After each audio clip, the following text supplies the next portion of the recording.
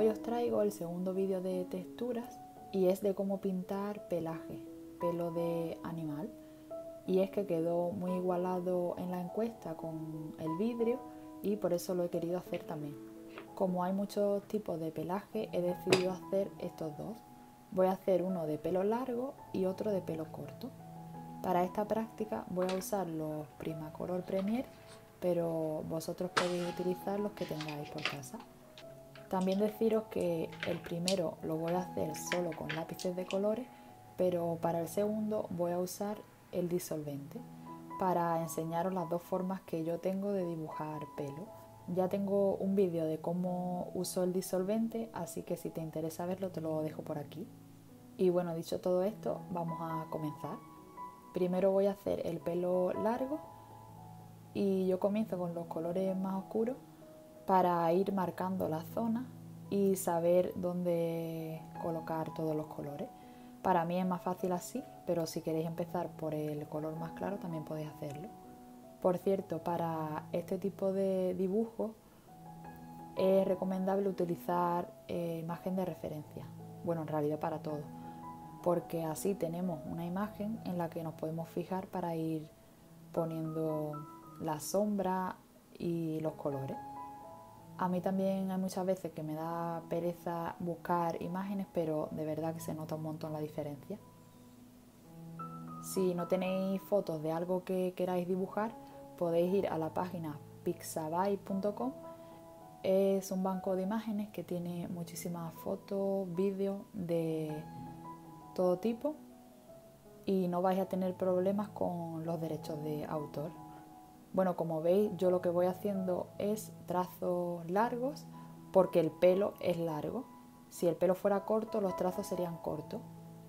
Y no los hago todos en la misma dirección ni del mismo tamaño, porque si hiciéramos eso se vería un poco raro. La primera capa para mí es simplemente para saber dónde va a ir cada color no hace falta que nos centremos ahora mismo en los detalles, sino que voy a ir poniendo los colores, como os digo, de más oscuro a más claro. Y no ejerzo presión con el lápiz, porque estoy haciendo la técnica de capas. Entonces, si hacemos mucha presión al principio, luego el papel no nos va a permitir añadir más capas, porque se va a saturar. Así que voy poco a poco poniendo los colores y sin apretar el lápiz.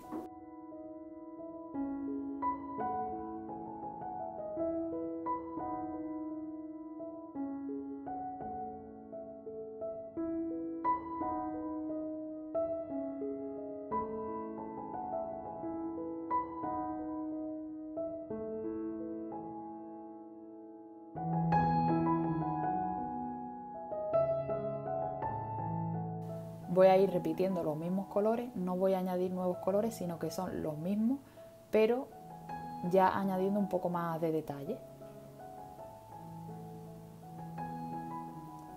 Y a medida que voy avanzando en el dibujo, voy presionando más el lápiz, pero solo un poquito. Como os digo, los trazos tienen que ser largos con todos los lápices, pero hay que ir variando el tamaño de cada pelo.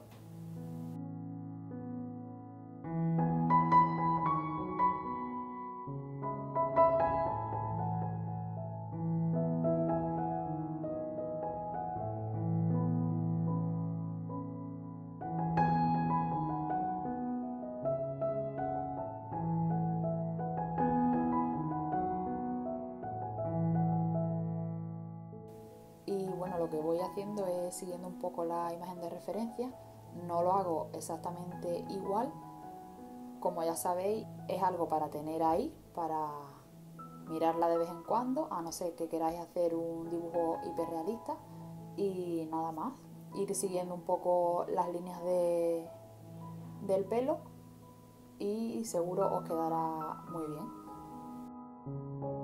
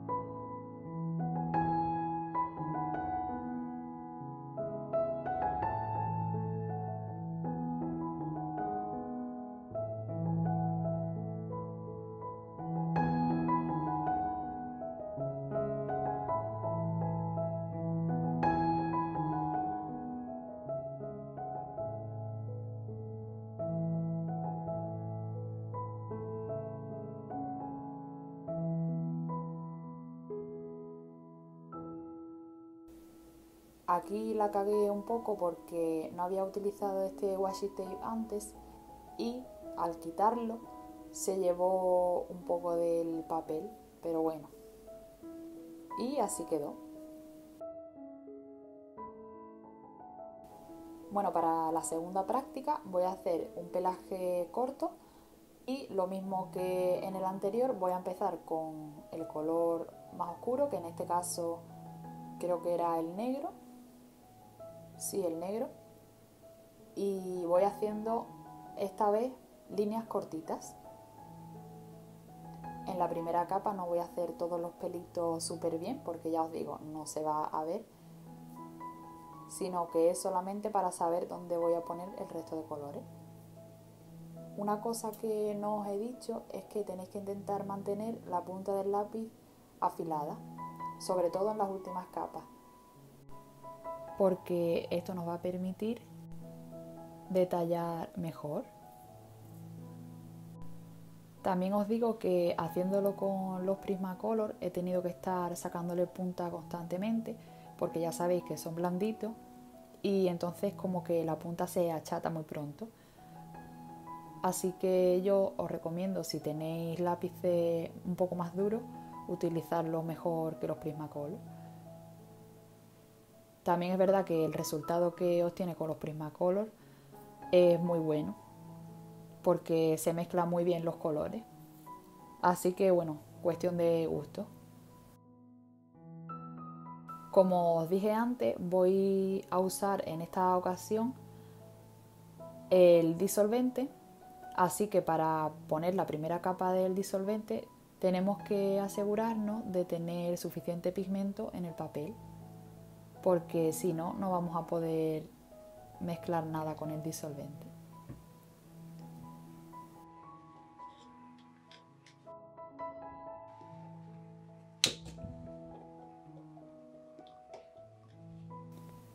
Como veis lo que hago es meter el pincel y quitar el exceso en el borde de la botellita y luego vuelvo a pasarlo por un papel absorbente.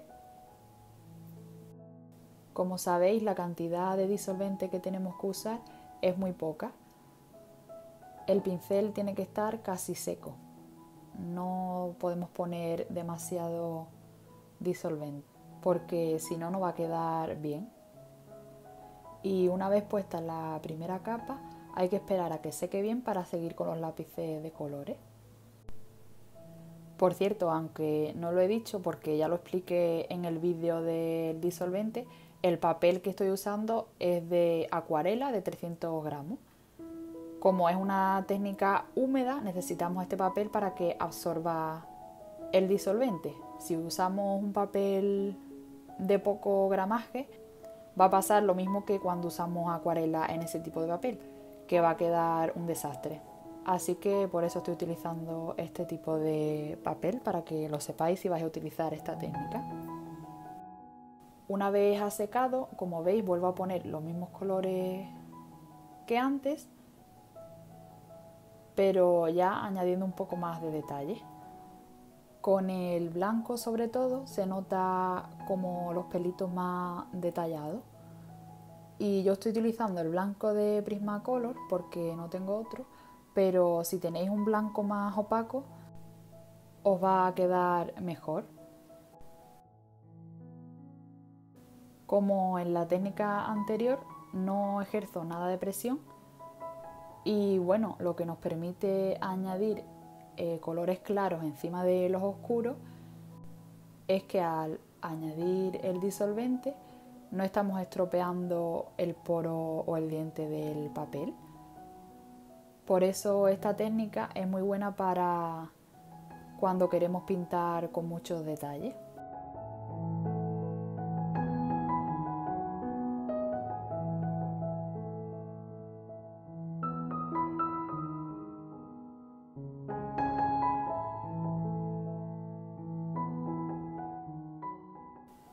Para ir terminando voy a ir poniendo los últimos pelitos, colocando algunos más larguitos que otros para que no quede muy artificial y poniendo un poco de sombras en algunos sitios. Y ya lo tendríamos.